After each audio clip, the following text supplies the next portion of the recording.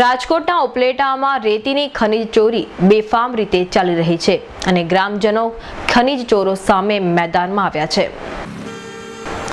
ઉપલેટામાં ભાદર નદીમાં બેફામ બનેલા ખનીજ ચોરો સામે ગ્રામજનો મેદાનમાં આવ્યા છે અને ચાલી રહેલ બેફામ ખનીજ ચોરી સામે ધોરાજી ડેપ્યુટી કલેક્ટરને આવેદનપત્ર આપ્યું હતું.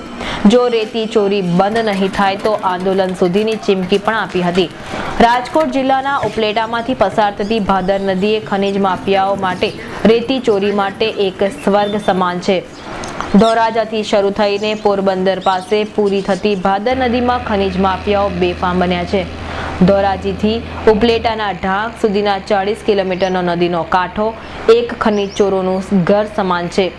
આ વિસ્તારમાં ખનીજ માફિયાઓ ભાદર નદીની અંદર હોડીઓ ઉતારીને ડ્રેજિંગ કરીને રેતી કાઢવામાં આવે છે. બેફામ પણ રેતીની ચોરી કરવામાં આવે છે અને આ વિસ્તારમાં સરકાર દ્વારા અંદાજિત વીસ જેટલી લીઝની મંજૂરી આપવામાં આવી છે.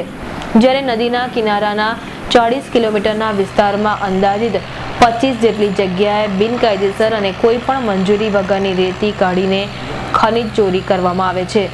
જે જોતા દર દોઢ કિલોમીટરમાં એક જગ્યાએ રેતીની ચોરી કરવામાં આવે છે.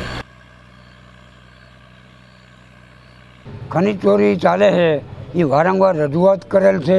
પછી એ રજૂઆતને અનુસંધાને અમારે જ્યાં લીધ નથી, ત્યાં પણ જગ્યા ઉપર ભરે છે. હાથફોડી સમઢિયાળા તલંગણા, કુંડેના સીમાડા સુધી આ બે ફાર્મ ખનિજ ચોરી થાય છે.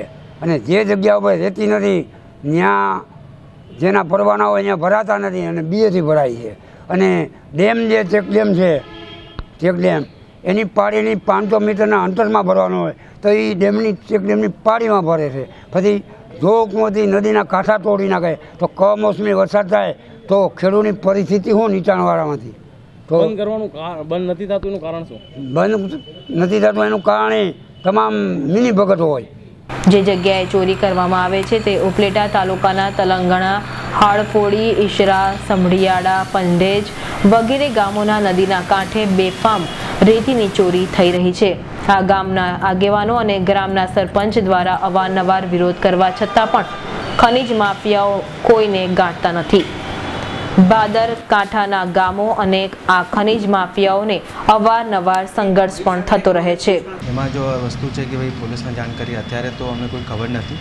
પણ અગર તમે વાત અત્યારે ધ્યાનમાં આવી છે, તો એમાં જો બી વસ્તુ હોય એની તપાસ કરીને કાયદેસર કાર્યવાહી ચાલુ રહે છે. જે નદી વિસ્તારમાં જે હોડીઓ નાખીને ડ્રેજિંગ કરી અને રેતી કાઢવામાં આવે છે ગેરકાયદેસર રીતના રેતી કાઢવામાં આવે છે.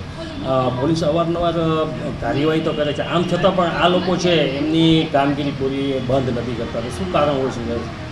એમાં પોલીસની કાર્યવાહી તો કન્ટિન્યુઅસ ચાલુ રહે છે. એમાં કે ભાઈ કોઈ ખાન ગેરકાયદેસર કામ નથી ચાલે. પણ અગર કોઈ અ, ફરીથી કોઈ ચાલુ કરશે તો એમને પણ જો હે પ- અહીંયા પોલીસ વોચમાં રહે છે અને કોઈ પણ અગર ગેરકાયદેસર વસ્તુ ધ્યાનમાં આવે તો એમને અ, કાયદેસર પગલાં લેવામાં રહેશે આ જે ખનીજ માફિયાઓ છે વારંવાર ખનીજ ચોરી કરીને છૂટી જતા હોય છે તો પોલીસ તરફથી કોઈ કડક પગલાં કે કંઈ એમાં અ, ખાસ વાત છે કે ખનિજ विभाग ने साथ संकलन साथ रहने काम करवाना રહેશે और इसमें जो जो बात अगर अ, जैसे और वो उनका कंटिन्यूस ऐसा प्रवर्तन चल रहा है तो इसमें हमारी यही कोशिश है कि खनिज विभाग के साथ संकलन में रह के जो भी अ, उसका स्ट्रिक्ट एक्शन हो सकता है वो लिए जाने की कार्रवाई करेंगे છેલ્લા સાત વર્ષથી ચાળીસ કિલોમીટરના વિસ્તારમાં ચાલતા ખનીજ ચોરી ક્યારે અટકવાની નથી કારણ કે આ વિસ્તારમાં સરકાર અને સરકારી અધિકારીની મિલીભગત હોય તે ચોક્કસ છે સરકાર આ બાબતે જાગૃત થાય અને આ ખનીજ ચોરી બંધ થાય તે જરૂરી છે એ ને તો પોલીસ બધી પોલીસ. કેટલા કપતો હશે અંદાજે? એસી પંચ્યાસી જેવું એક ટ્રેક્ટરના? ઓ તો કેટલા ટ્રેક્ટર. હાલે? કેટલા ટ્રેક્ટર હાલે? પચીસ બાવીસ જેવા ટ્રેક્ટર ને બાવીસ ટ્રેક્ટર? એકના પંચ્યાસી હજાર તો ત્યાં કેટલા બાવી ટ્રેક્ટરના? ઈ જેટલા થાય ઓહો એમાં તારું ટ્રેક્ટર હશે ને? એમ. એસી પંચ્યાસી હજાર રૂપિયા હપ્તો થાય એક જણાનો તો કેટલા આવે લેવા? લોકો આવે એટલે બધી થઈ જાય થઈ જાય થઈ રેતી